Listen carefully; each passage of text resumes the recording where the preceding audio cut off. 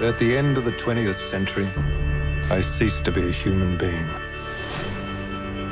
Do you ever have that sense of being an outsider? Do you love performing still? I live for it. There's something that happens on stage where you are transported. I wake. I write. I eat. Hmm. I probably had more meals with you than my wife. I watch TV. Awesome. This is my 20,000th day on Earth. Darian's ready to see you now. What's your earliest memory of a female body? Huh? What do you fear the most? It does worry me that I'm not going to be able to continue to do what I do and reach a place that I'm satisfied with. In a sense? Because memory is what we are. Your very soul and your very reason to be alive is tied up in memory.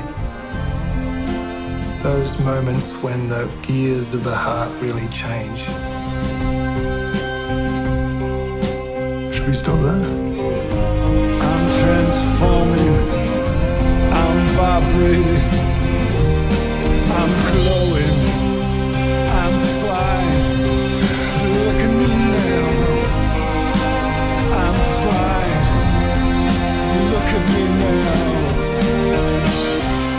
This shimmering space where imagination and reality intersect, where all love and tears and joy exist.